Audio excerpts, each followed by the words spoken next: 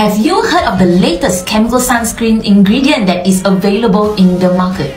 Bemotrizinol. It is recognized as one of the best sunscreen ingredients available now in the market. This new generation chemical sunscreen is a broad spectrum agent which not only blocks UVA, it also blocks UVB. Most importantly, it is very stable, so it does not degrade when exposed to sunlight for a long time. Its sun protection definitely surpasses the older generation's chemical sunscreen. What's really interesting is that many studies have shown that it has a very good safety profile. It does not absorb significantly into the skin and rarely causes any skin irritation.